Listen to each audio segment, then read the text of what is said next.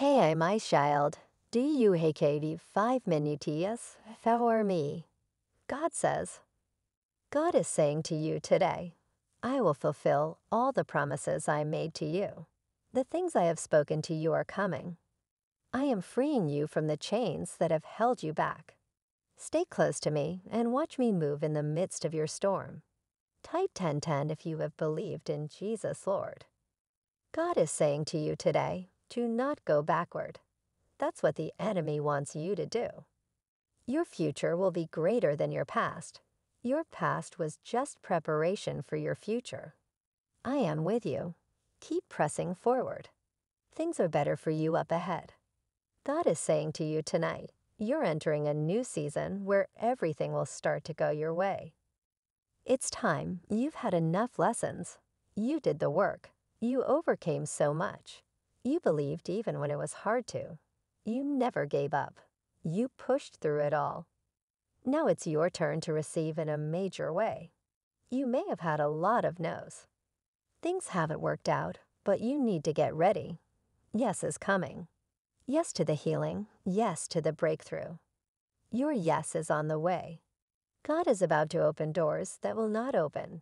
He's going to change people's minds and cause them to be good to you. Type I am aware if you are. God has not forgotten you. You will bounce back from every setback and negative situation you are experiencing. Your story has already been written. Your final scene has been shot. You don't end in failure, you end in victory. I declare that I will ask God for big things in my life. I will ask God to bring to pass those hidden dreams that are deep in my heart. If certain promises don't look like they will happen, I will not be intimidated and give up. I will pray with boldness, expecting God to show himself strong, knowing that nothing is too difficult for him. This is my declaration. Type I'm optimistic if you're ready. Today, God wants you to know that it is well. He didn't say it looks well. How it looks is only an appearance. He said it is well. You don't have to worry or stress yourself trying to figure out things on your own. That's all pointless. God already worked it out for you. So when anxiety, doubts, fear, or worry tries to grab hold of your mind, you just be still and remember that it is well. Be blessed and be encouraged.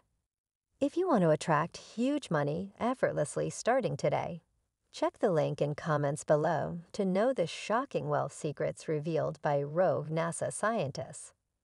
Subscribe to our channel if you believe in God.